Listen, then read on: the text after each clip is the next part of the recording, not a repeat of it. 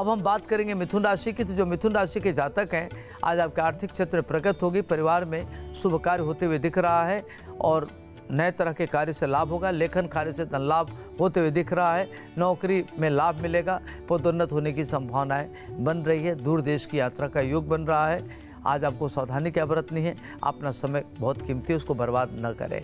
उपाय क्या करना है? भोलेनाथ को बेलपत्र और पुष्प अर्पित करें। आपके लिए शुभ रहेगा। शुभ अंक छः शुभ रंग सफ़ेद। लक्ष्मी सात, हरे कृष्ण।